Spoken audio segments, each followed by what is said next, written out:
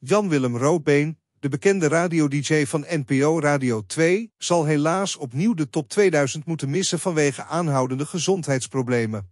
Zowel donderdag als vrijdag was hij al afwezig, en ook op zaterdag meldt zijn collega Jeroen Kijk in de vechten dat Roodbeen nog steeds ziek is.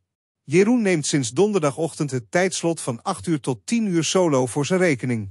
In de afgelopen twee dagen heeft Jeroen Kijk in de vechten al laten weten dat Jan-Willem Roodbeen rust neemt vanwege de griep.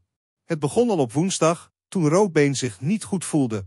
Jeroen omschreef zijn stem destijds als een beetje als Barry White, zoals hij eerder op NPO Radio 2 vermeldde.